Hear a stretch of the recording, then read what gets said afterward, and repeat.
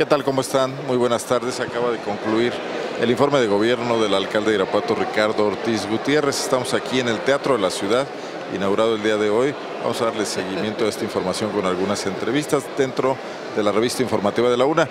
Pero quisiera empezar y le agradezco mucho que me dé unos minutos al secretario de Educación de Guanajuato, al ingeniero Eusebio Vega Guerra, por la nota que publicamos hoy a ocho columnas. Eusebio, gracias, gracias por este tiempo, sobre una unos datos manejados por UNICEF, la Agencia de las Naciones Unidas para la Infancia, donde, bueno, sitúa a Guanajuato como el tercer estado con más eh, niños que no están acudiendo a las aulas. Y hablan de 256 mil, solo por debajo de dos estados con problemas magisteriales como son Chiapas y Michoacán.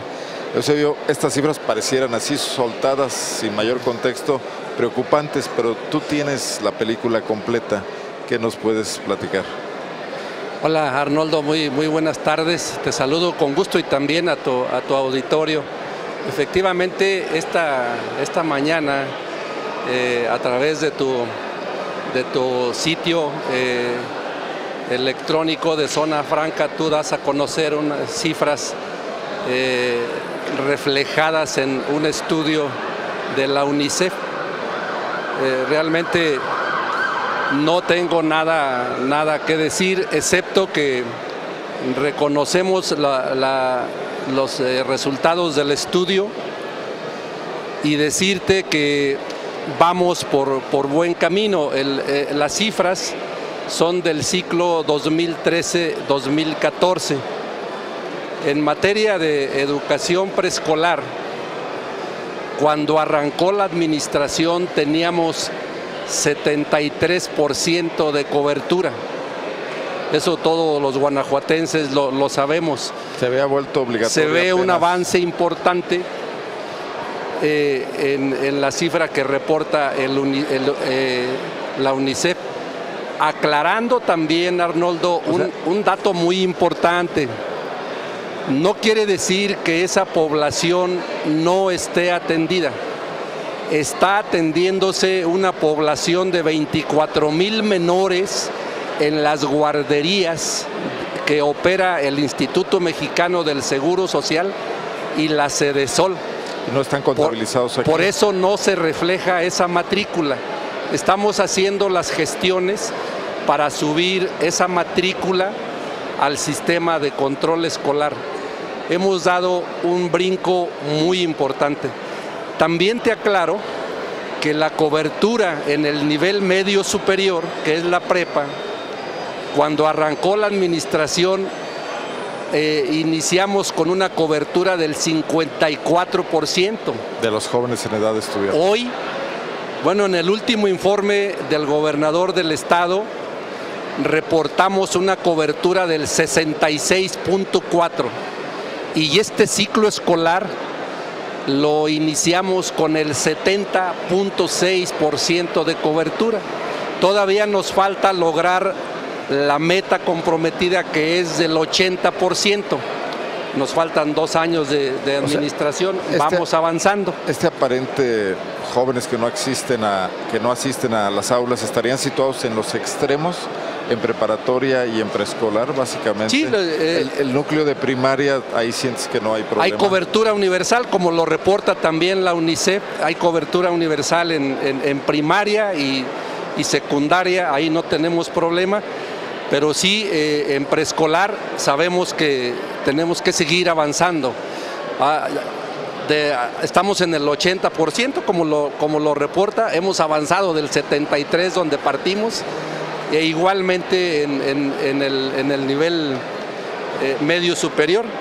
Y una cosa que considero, una cifra que considero muy importante aclarar, es el costo por alumno. Desconozco cuál sea la fuente de la UNICEF, pero de acuerdo con nuestras estadísticas, de acuerdo con el gasto educativo en el Estado, mi cifra es de 16 mil pesos por año por alumno diferente a lo que reporta ahí. Con todo respeto se lo digo a quienes elaboraron el estudio y estamos en la mejor disposición de eh, entregar la información correcta sobre el gasto educativo a nivel de gasto corriente y a nivel de gasto de inversión. Sería bueno entrar en contacto con, con, con UNICEF México para aclarar estos datos. Eusebio. Así es. Sí. Tú no estás preocupado por esta situación. No, no, te dice nada nuevo esta situación. No. Eh, yo, lo, yo, lo, yo lo reconozco, estamos trabajando, me parece que vamos por el rumbo correcto, vamos avanzando en, este, en esta cobertura, cada vez eh, el preescolar eh, se ve más mejor atendido. Hoy el gobernador acaba de anunciar aquí la construcción de un primer CENDI aquí en, Irapuato, tenemos dos en Guanajuato, hay proyectado uno en León para el próximo año y uno más en Celaya. Eh, seguimos invirtiendo en el tema preescolar, seguimos avanzando de manera muy firme en la cobertura del nivel medio superior para que ocho de cada 10 jóvenes puedan ingresar a la prepa al cierre de la administración del gobernador Márquez. Muy bien. El tema de infraestructura educativa, rápidamente te pregunto. Mándeme. El tema de infraestructura educativa, había algunos rezagos para iniciar este ciclo, ¿se superaron ya? Me, das la oportunidad y te lo agradezco de, comentarte que nos, nos ha ido, nos sigue yendo bien y nos va a seguir yendo bien porque hay recursos para seguir invirtiendo en la infraestructura educativa. Está eh, el, FAM, FAM monetizado, que es el programa de Escuelas al 100, donde participa la Federación y Gobierno del Estado. El Gobierno del Estado continuará aportando recursos para la infraestructura educativa y de los diferentes fondos concursables de la Federación eh, pues hemos logrado eh, buenos resultados de tal manera que ya prácticamente hemos atendido el 75% de las escuelas de educación básica con alguna acción de mejora orientadas a la dignificación de los espacios educativos en el nivel básico. No se diga en el nivel medio superior donde se han estado construyendo muchos planteles, se está invirtiendo mucho en el CECITE, en los SABES y las nuevas escuelas del CETAC, que también el gobernador anunció hoy. En infraestructura, Arnoldo, eh, se comprometió una cifra sexenal de cerca de 10 mil millones de pesos en el programa de gobierno. Las proyecciones nos, nos permiten visualizar a estas alturas que vamos a cerrar la administración con cerca de 14 mil millones de pesos invertidos en la infraestructura educativa de todos los niveles, con lo cual eh, habremos de observar al cierre de la administración un sistema educativo transformado en ese sentido.